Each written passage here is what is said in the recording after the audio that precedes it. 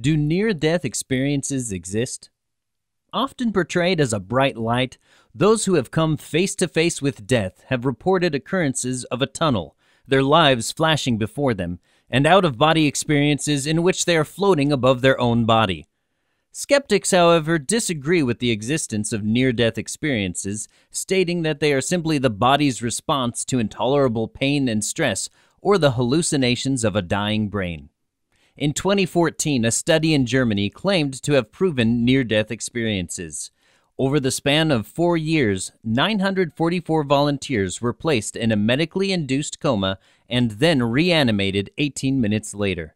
The participants reported feelings of warmth, overwhelming light, levitation, and detachment from their body.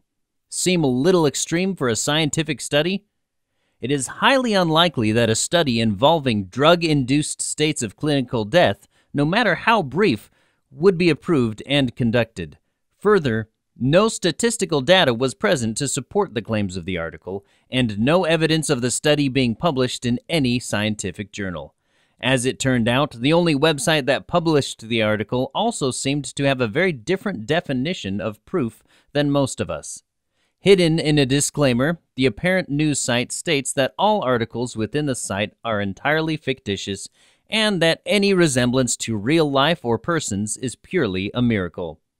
So don't believe everything you read. Question scientific findings, news publications, and online articles, and don't take everything at face value. Have you had a near death experience or realized something wasn't as true as you originally thought? Comment your experiences down below. Thanks for watching.